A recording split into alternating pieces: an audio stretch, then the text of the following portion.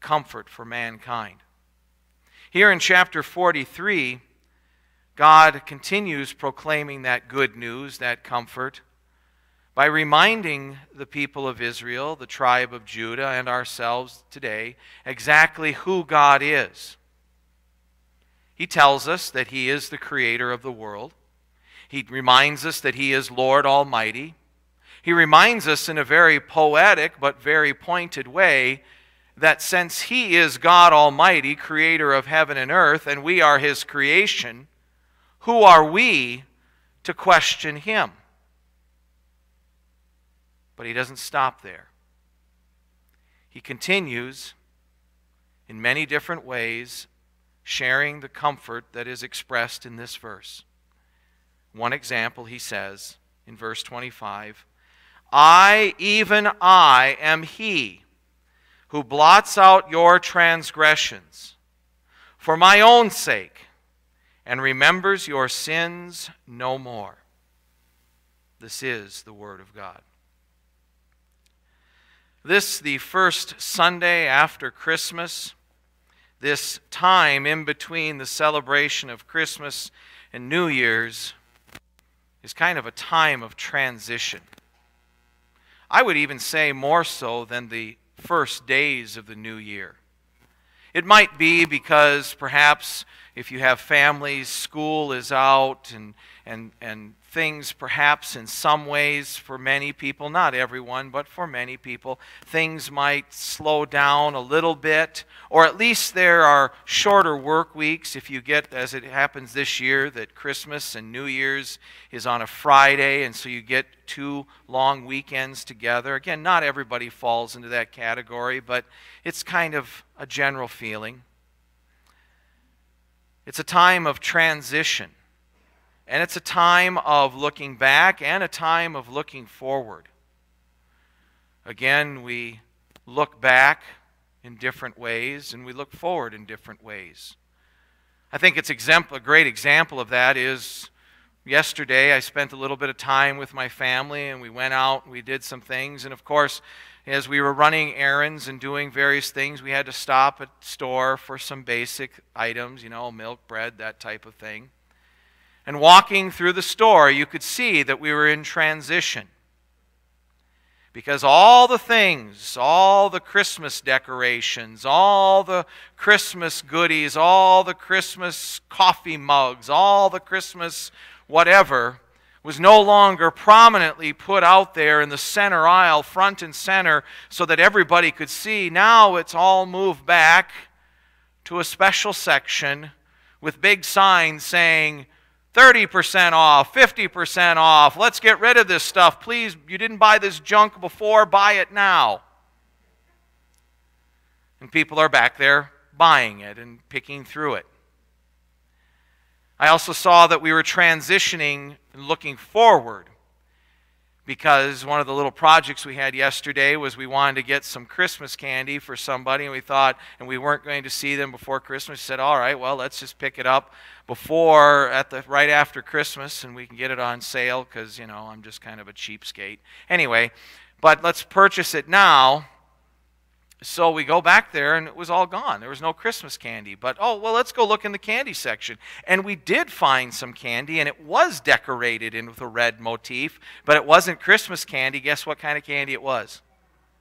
Valentine's candy already on the shelf. Or it tastes the same. But anyway,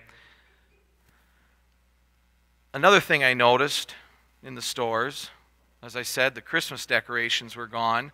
The place where there had been big displays of poinsettia plants was now filled with a big display of software called TurboTax. Oh, Happy New Year. Anyway, so things move on. Another thing that happens at this time of year, and you see this reflected in the stores, people look back, oh, the big events of 2015, and then, of course, you know, then there's the Farmer's Almanac for the next year, and then, of course, there are some other publications of, ooh, predictions for 2016, all that stuff. But one thing that I remember from this time of year, And I don't know, maybe companies, I definitely am sure they do it differently now with computers and even adjusting the time to make it more practical. But I remember at this time of year getting a part time job at a big kind of lumberyard hardware store. I got a job helping them do inventory. And I remember, I'll never forget it because it's like, okay, it was a part time job, make some money, but you know, it's like you, you'll never forget this after you spend a day counting washers, counting how many pounds of nail, counting how many bolts, writing it down and putting a tag on it, then moving big, okay, I've finally accomplished this. Now I will move an inch over and start counting the washers that are now an eighth of an inch bigger. One, two, 5,000, 6,000. It's just, you do it. But that's what people do, businesses. Not all of them, they've adjusted their fiscal calendars and stuff, but a lot of times at this time of year, businesses used to, and maybe some still do, would do inventory. Well, I think that's what this verse for today helps us do. And it's very right between these holidays of celebrating our Savior's birth and looking forward to a new year. I think it's very appropriate that we as Christians do a personal inventory. A personal inventory of exactly who our Lord is, exactly who we are, and an honest inventory of what our relationship with Him is like. The verse helps us, one of many verses in the scripture, helps us clearly see who God is. It starts out where the Lord says, I, even I am. And he goes on to describe his specific aspect of I am. But that's the first thing I think we need to remember as we begin this inventory of who God is, who we are, and what is our relationship with him who exactly is God. Now, based on some comments from Bible study this morning, we know the politically correct, the politically uh, appropriate, or perhaps the more common default desire of human beings when it comes to answering the question, Who is God? Mankind has a tendency, and our sinful flesh is not exempted from this tendency, when asked, Who is God? we always like to answer, we have a tendency to answer, Well, I think, or I kind of believe, or I would like to imagine God is, and then we fill in the blank with whatever we like. If someone would dare say, Oh, God is this way, well, no, I think He's more understanding. No, God says He's. Well, no, I've always envisioned Him as more of being like this. And gallons of ink and reams of paper and endless volumes of breath has been expelled on people pontificating on, I think God is like this.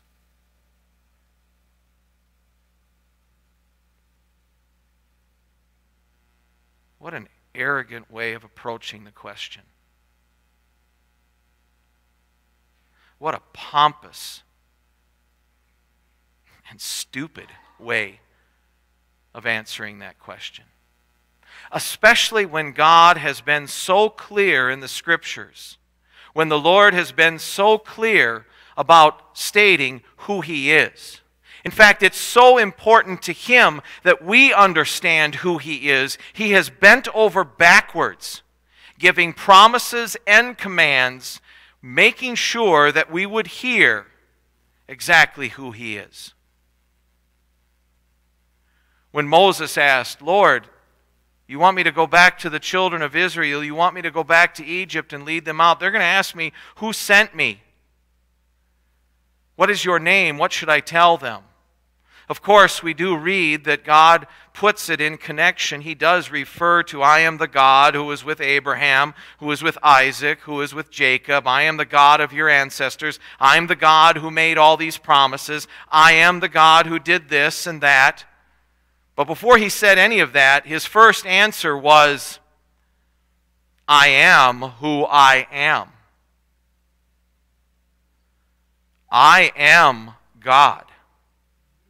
I am the one who created the heavens and the earth. I am the one who is eternal. Again, from Bible study, no matter how mind boggling that is, he says, That's who I am. I am also the God who gives promises. And I want you to know who I am, and I want you to realize who I am, and I want you to know that I am who is, and I am the only one. And I want to drill that into your head. Therefore, I am going to, as I summarize my commands, number one, numero uno, first thing you need to understand is I am the Lord, and you shall have no other gods, because there is no other God. Not only do I want you to know that because that's exactly the way it is, but I want you to know that for your own good. Because as Jesus proclaimed, as he proclaims the gospel, not only is that statement part of a command, but it's also part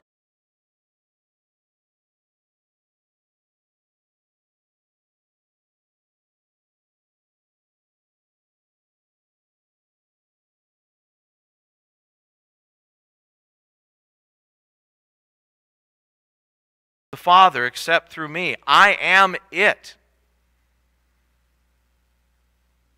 And that's also what Isaiah was privileged to proclaim. He proclaimed in the earlier verses of the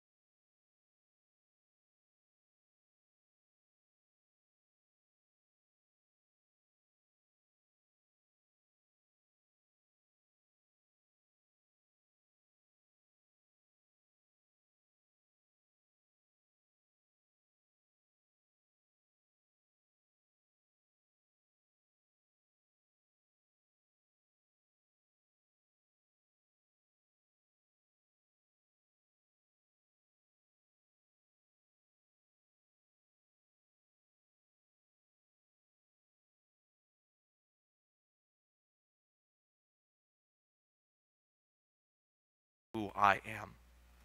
And there's the good news. As we look at our relationship with God, we need to begin with understanding and take a personal inventory of how are we looking upon God. Well, He is the Creator. He is the Judge. He is the one who demands perfection. I am holy, He says, and I expect you to be holy. But thanks be to God, He's also the one who says, I forgive sin.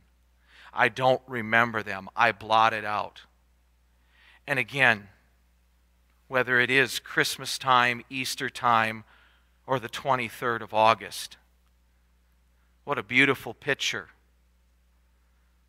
of God blotting out our sins. And especially today, as in the second part of a service, we'll celebrate the Lord's Supper. And we, with 2020 Christian hindsight, can look back and see exactly what God was talking about. What it is that blots out our sin and our transgressions.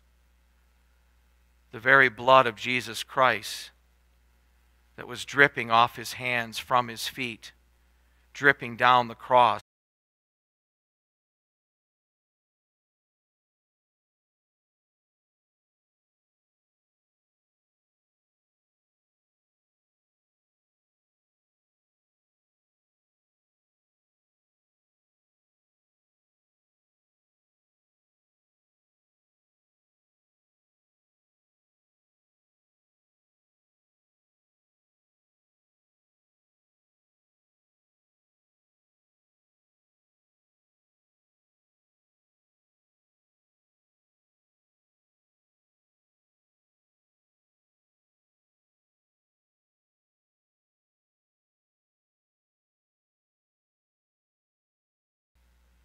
Everything that we've ever done wrong, our transgressions and sins. And those words, it's not just for poetic sake that he uses transgressions and sins. In the Hebrew, just like in the Greek, God often speaks about what we are guilty of in different ways. The word transgression, as it's translated there from the Hebrew, literally means, and rightly could be translated, our rebellions. Again, you can look back to the Garden of Eden. You can look at any three year old having a temper tantrum. No, it's time to go to bed. I don't want to! We look at next time you see a little one putting up a fit in a store, or you have fond memories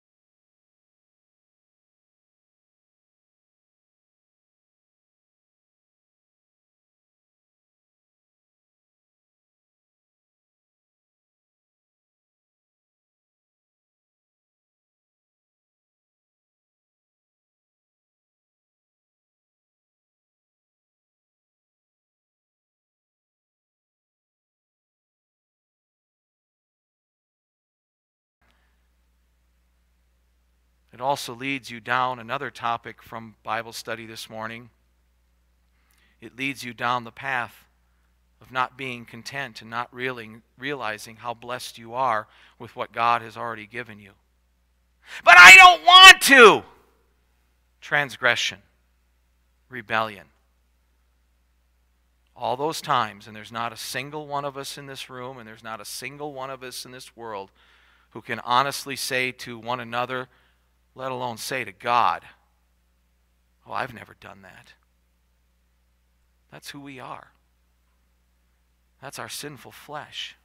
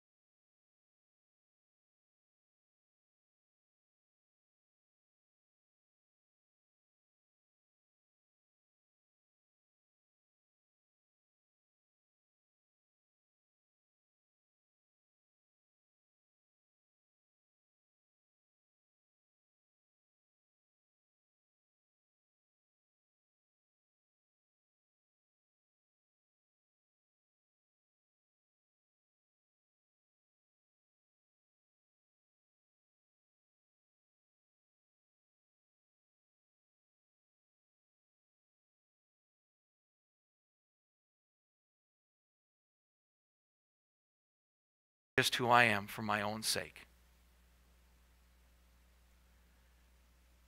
Which then leads us to that wonderful truth that even though we don't deserve it, our relationship with God, because of who He is, because He is who He is,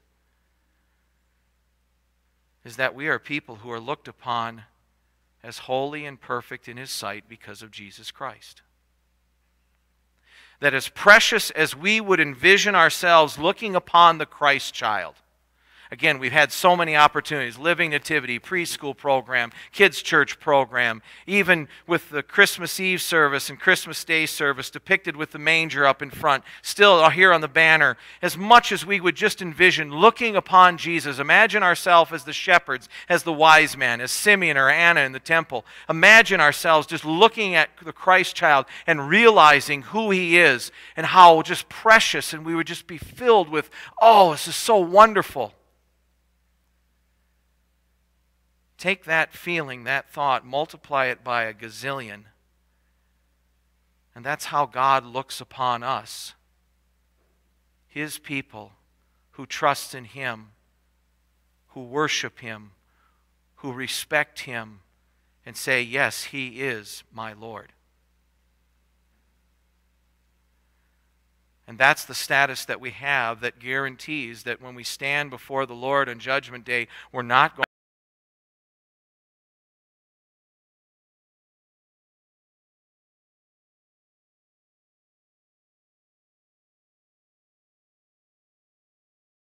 my relationship with my Lord and Savior Jesus Christ was brought home to me this past week when, just in kind of a casual conversation, somehow it turned to the topic of religion and Christmas and Jesus, which I guess is, is understandable this time of year. And someone asked the question What would you do if Jesus showed up at your doorstep? What would you do if he walked into your living room?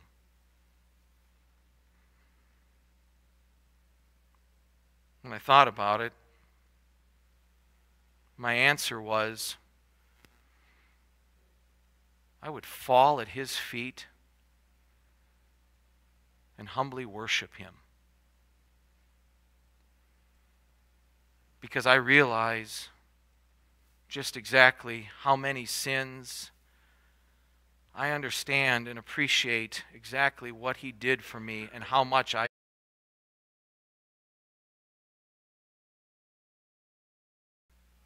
This is also what I would expect to happen. Because I see examples of it in Scripture. It's, it's proclaimed, it's